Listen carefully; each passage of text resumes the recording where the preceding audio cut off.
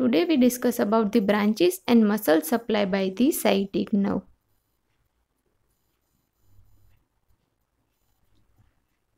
So the sciatic nerve is the largest branch of the sacral plexus.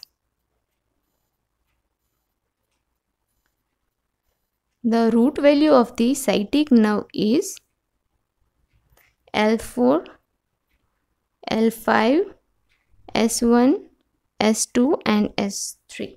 Okay, the sciatic nerve is run in the posterior part of the thigh.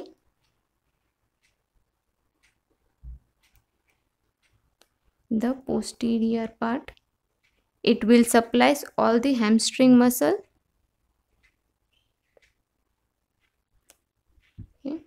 it supplies the hamstring muscles.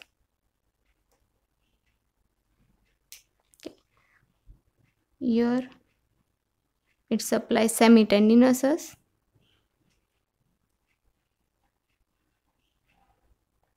Then it will supply semimembranosus.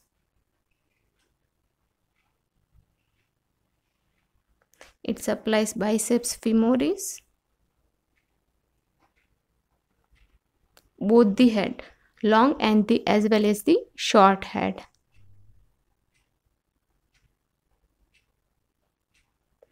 Then lastly, it supplies the adductor magnus muscle.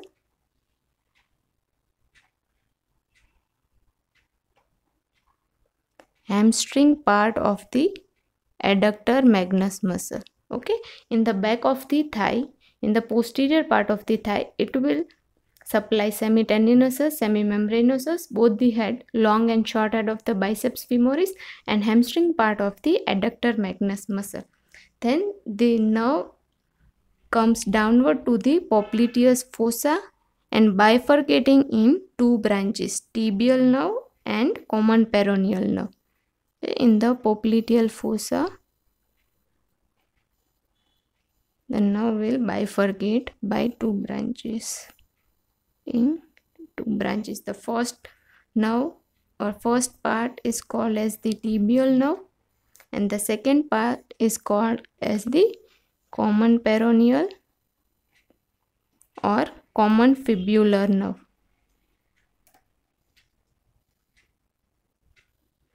Now this tibial nerve is supplies back of the leg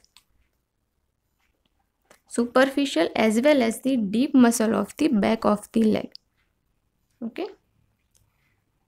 In the superficial muscle in the back of the leg it will supplies flexor muscle of or plantar flexor of the ankle gastrocnemius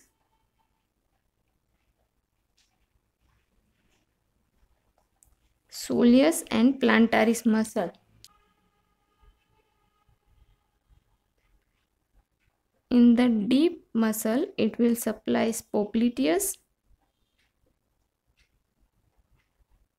then tibialis posterior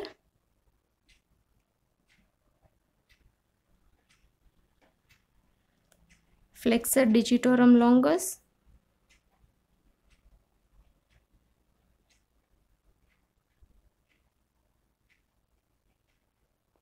and last muscle is flexor hallucis longus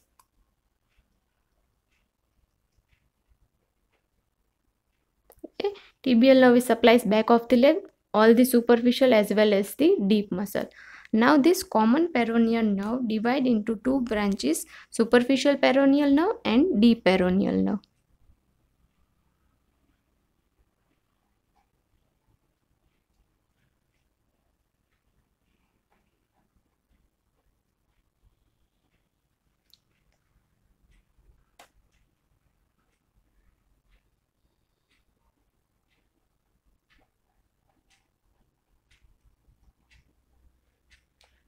This superficial peroneal nerve is supplies the lateral compartment or the lateral side of leg. Peroneus longus and peroneus brevis.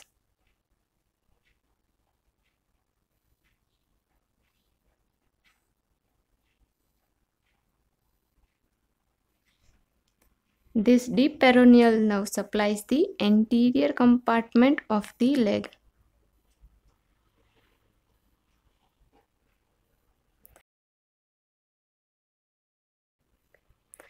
Tibialis anterior?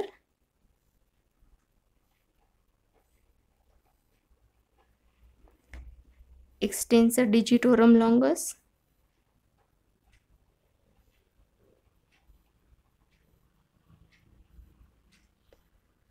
Extensor hallucis longus?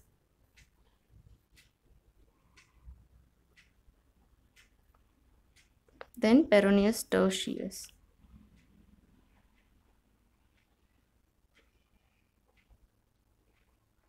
will also supplies the extensor digitorum brevis in the foot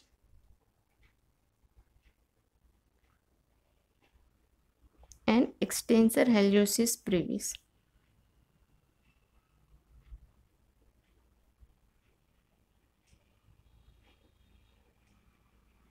Okay.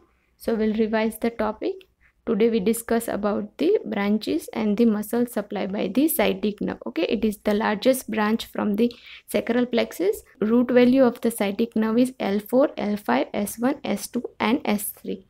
In the back of the thigh, in the posterior part, the sciatic nerve supplies the semitendinosus, semimembranosus, long and short head of the biceps femoris muscle and hamstring part of the adductor magnus. Then the nerve comes down in the popliteal fossa by bifurcating in two branches tibial nerve and common peroneal nerve. This tibial nerve supplies back of the leg, all the superficial and the deep muscle of the back of the leg. In the superficial part, it will supply gastrocnemius, soleus and plantaris muscle. In the deep part, it will supply popliteus, tibialis posterior, flexor digitorum longus and flexor hallucis longus muscle. The second branch, common peroneal nerve, it divides into superficial peroneal and deep peroneal nerve. Superficial peroneal nerve supplies the lateral part of the leg, peroneus longus and peroneus brevis muscle. Deep peroneal nerve supplies the anterior compartment of the leg, tibialis anterior, extensor digitorum longus, extensor hallucis longus, peroneus tertius, muscle from the foot, extensor digitorum brevis and extensor hallucis brevis.